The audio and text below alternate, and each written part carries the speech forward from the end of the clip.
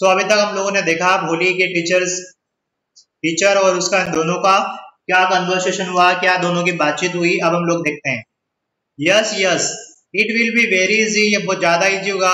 You just come to school every day will you come ये तुम्हें क्या करना है? रोज स्कूल आना है और सच में तुम दूसरे बच्चों की तरह बात कर पाओगी। क्या तुम रोज स्कूल आओगी? भोली नोटेड भोली ने गर्दन हिलाकर बताया नोटिंग किया है ना? क्या किया? भोली ने नोट किया। क्या नोटिंग किया? नो सही अलाउड टीचर ने कहा नहीं नहीं गर्दन नहीं बोल के बताओ. और उसने स्टेमरिंग करते बोला या, या yes and Bholi herself was astonished that she had been able to से देखो टीचर क्या कर रहा है उसका? उसको हर समय उसको क्या कर रहा है वो? मोटिवेट कर रहा है। हर समय क्या कर रहा है उसको? मोटिवेट कर रहा है कि नहीं नहीं बेटा तुम कर सकते हो। और वो भी एस्टोनिजमेंट मतलब आश्चर्य के साथ में बोलती है। और है ना उसको भी बहुत अच्छा लगता है। Didn't I tell you now take this book क्या मैंने तुम्हें नहीं बताया था? ये लो books the book was full of nice picture and the pictures were in colour dog cat goat horse, parrot, tiger and a cow just like Lakshmi. तो ये सारी पिक्चर्स वगैरह की इसने बुक्स दे दी। And with every picture was a word in a big black letters alphabets जो होते हैं ना, उसी टाइप से ये सारी चीज़ें उसके टीचर्स ने उसे बताई। In one month you will be able to read this books कि वन मंथ में ये जो बुक मैं तुम्हें दे रहा हूँ, इसको तुम पढ़ने में एबल हो जाओगी, पढ़ने लग जाओगी। Then I will give you a bigger book और उसके बाद में मैं इससे थोड़ी एक बड़ी बुक दूँगी। Then I still bigger one और उसके बाद में उससे और बड़ी। In time you will be more learn than everyone else in the village और एक समय ऐसा आएगा कि तुम इतनी पढ़ लिख जाओगी कि तुम्हारे विलेज में कोई भी पढ़ा लिखा नहीं होगा। Then no one will ever be able to laugh at you और उसके बाद में तुम्हारे ऊपर कोई हंसेगा नहीं। People will listen to you with respect and you will be able to speak without the slightest stammer और उसके बाद में तुम जो भी बोलोगी, लोग तुम्हारी बात को सुनेंगे और तुम बिना हकलाकर, बिना हकलाते हुए एक भी वर्ड हकलाओगी नहीं और क्या करोगी? बोलोगी।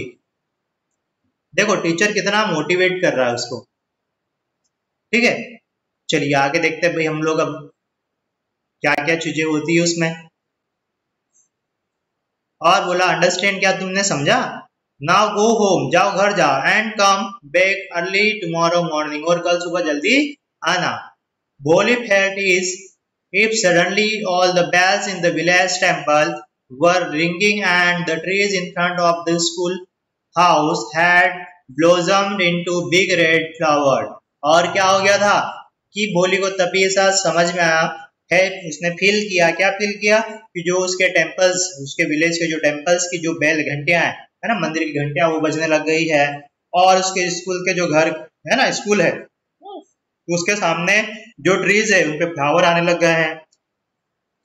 Her heart was throbbing with new hope and new life उसका जो हार्ट था, वो क्या सोच रहा था, क्या चीज़ें सोच रहा था?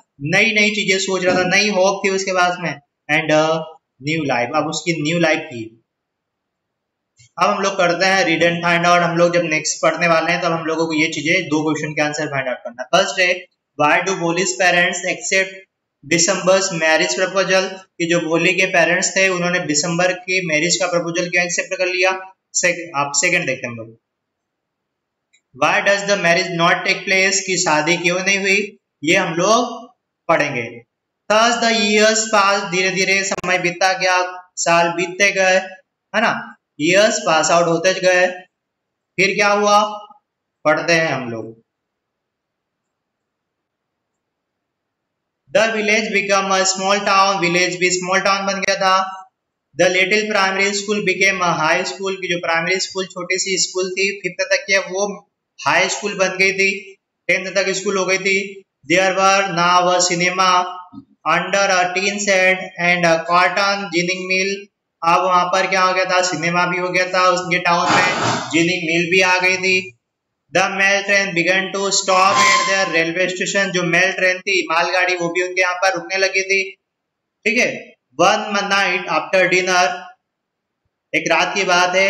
डिनर के बाद में Ramlal said to his wife Ramlal ने अपनी वाइफ से कहा then shall I accept Bishamber proposal देखो ये क्वेश्चन है। ये यहाँ पे है कि दिसंबर के मैरिज का प्रपोजल इन्होंने क्या एक्सेप्ट किया था? तो ये क्वेश्चन आप लोग को याद रखना है। एक दिन खाना खाने के बाद में, रात का खाना खाने के बाद में रामलाल ने पूछा, अपनी वाइफ से कि क्या मैं दिसंबर की शादी का प्रपोजल एक्सेप्ट कर लूँ? तो उसकी वाइफ ने जवाब दिया यस सटनली हाँ बिल्कुल। Bholi will be lucky to get such a well to do bridegroom कि ऐसा पति मिलना, ऐसा दूल्हा मिलना लकी अपनी भोले के लिए क्या होगा? लकी होगा। बिग शॉप उसकी एक बड़ी सी शॉप है।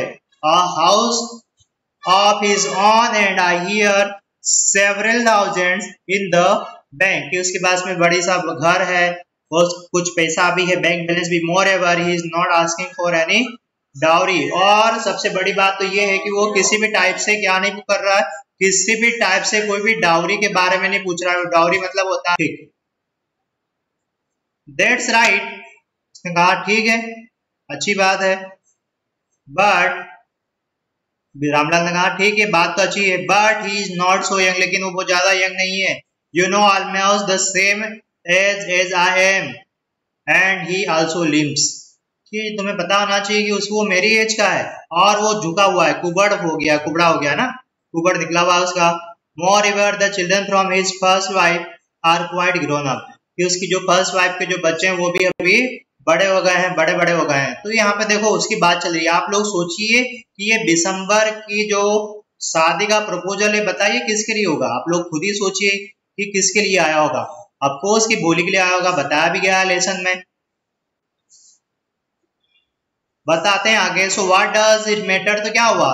हिज वाइफ रिप्लाइड उसकी वाइफ ने कहा 40 और 45 it is not great age for a man की 40-45 साल का होना किसी भी व्यक्ति के लिए ज़्यादा एज नहीं होती।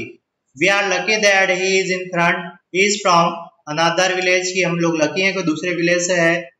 And he does not know about her pock marks and her lack of sense और उसको पता नहीं है किसकी, जो लेक ऑफ़ सेंस है इसका, है ना? और बोली को फोक्स मार्क्स के बारे में भी उसको पता नहीं है।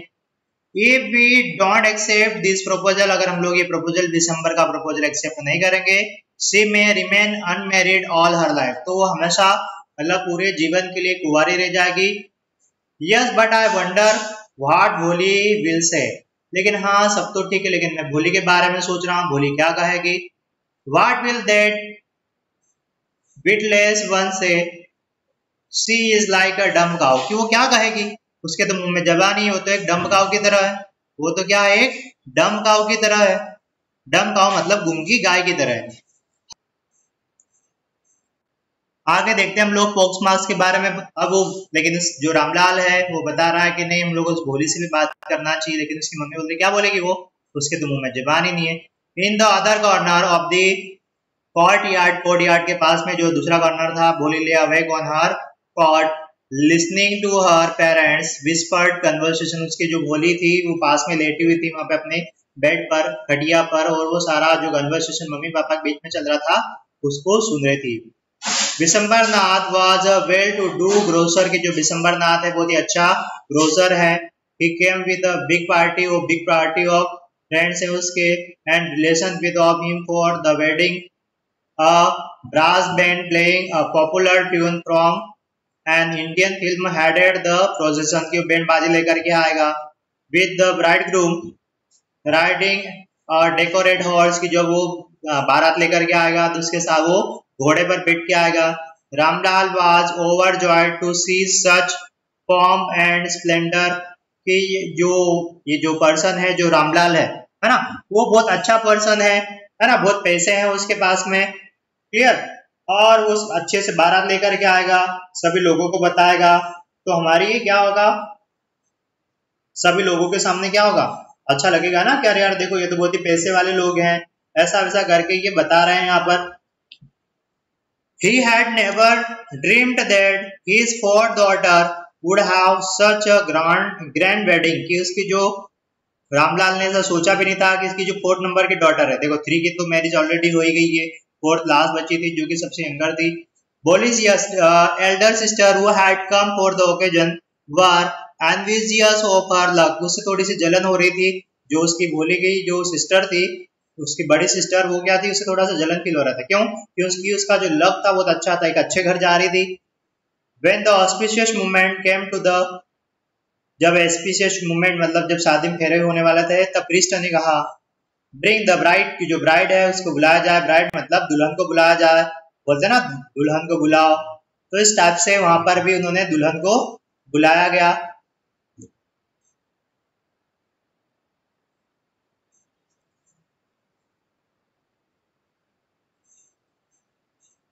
आगे देखते हैं हम लोग क्या होता है, फिर अब आगे।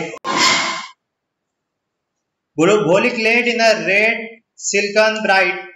अब जो भोली थी भोली के बारे में हम लोगों ने अभी तक सारा पढ़ा, हम लोगों ने बहुत सारा लेसन समझा, बहुत सारी चीज़ें समझी कि देखो भोली